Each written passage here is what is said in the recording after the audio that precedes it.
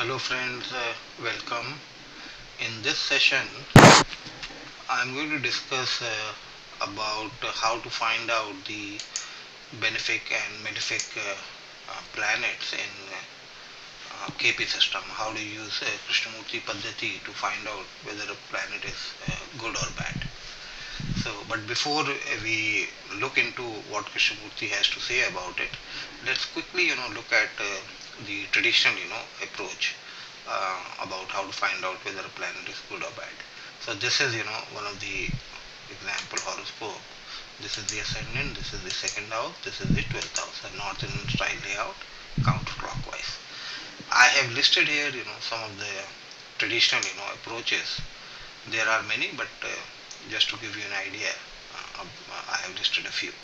So one is about, you know, the functional benefics or uh, the malefics, good or bad planet, depending on the what the ascendant is. So, for example, for Aries ascendant, Mars, Sun, and Jupiter, they are deemed to be good, and uh, similarly, you know, the other planets are neutral or average or uh, bad for the Aries.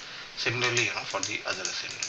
Another approach is uh, about you know the Kendradhipati or Kendradhipati dosh, where you know if a planet uh, occupies these four houses, then there is a process in the traditional astrology where a good planet becomes bad and a bad planet you know becomes good.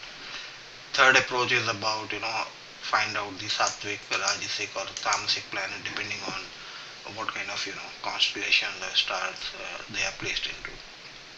Another approach is to look at the ownership of a planet uh, pertaining to you know some of these houses. For example, these houses are deemed to be uh, uh bad 3, 6, 8, 11 and 12 and if a planet uh, it becomes the ruler or the lord of these houses then one tends to jump to the conclusion that this planet is you know bad for this uh, horoscope. So these are you know just a few things that I have listed here in the traditional astrology. And one of the major, you know, drawbacks in the traditional approach is that uh, it tends to compartmentalize or segregate, you know, planets into a very black and white, you know, kind of area. A planet is bad or a planet is good. Okay. And but in practical, you know, life, uh, we find that a planet uh, can be good or bad at the same time. There are so many events, you know, that happen in the life at the same time and a particular event is good and at the same time you know one is uh, going through some rough phase in other you know sphere of life. So it doesn't really work out you know you can't really say if a planet is 100% bad or good you know. You can't jump to conclusions. And the second thing is in uh, tradition you know astrology there are so many different you know theories and so many different uh, methods that uh, if you try to get into all those methods and the, at, the, at the end of the day you're just totally going to be you know confused. So let's look at you know what Krishnamurti has to say about it. Now this horoscope you know belongs to uh, is of uh, President you know uh, Obama. And so this is a Krishnamurti you know horoscope. According to Krishnamurti I hope you know you can see all these images. I have to take all these images from various you know websites and I hope you know the image quality is not very poor. And so this is the cusp chart and uh, the planets and the uh, you know the nakshatra lord and this is the table of uh, significators. So now if you look at this horoscope and uh, if you're looking if you're using you know Krishnamurti Paddhati and uh, now you have to find out what are the good or the bad planets. So according to Krishnamurti no house is good no house is bad and no planet is good or no planet is bad. It all depends on you know what particular uh, specific area of life you know you are looking into or what kind of question you know a person has on his or her mind. So let's say you know if uh, president obama comes to you it's very unlikely but uh, hypothetically let's say it comes to you and he wants to find out you know about about his political you know career.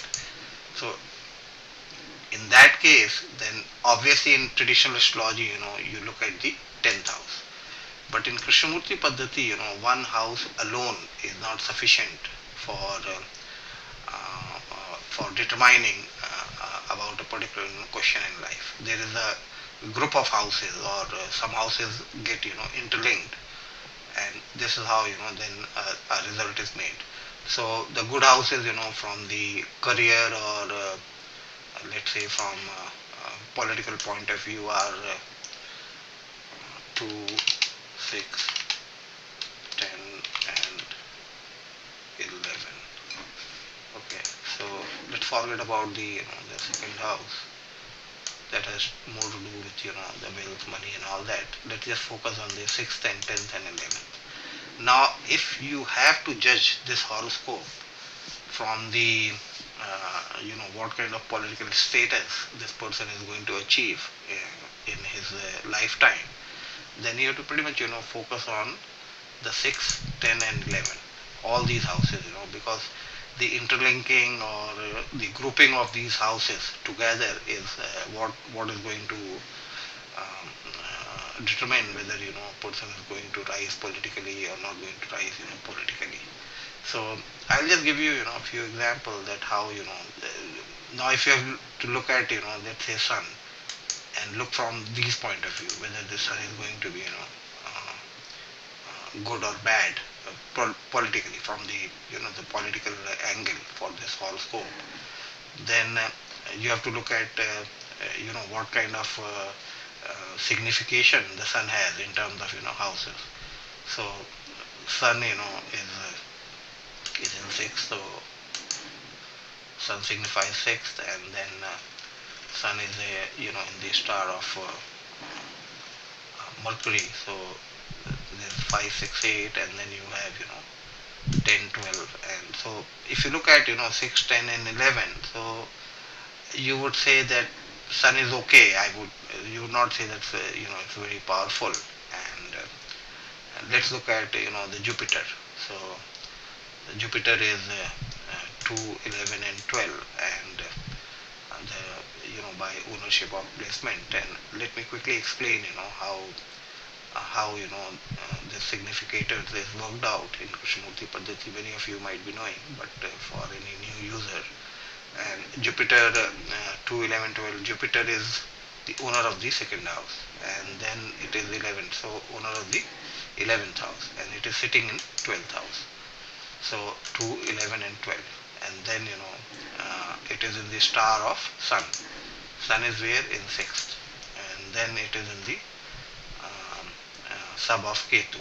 Okay, so I'll not go into Ketu at this stage. It will become confusing. But uh, you know, the 211 is very good, 6 is very good, and uh, then here you know 1 is good, 3 is good, and uh, 10 is also good. 12 is uh, alone, so it's not going to do you know much harm.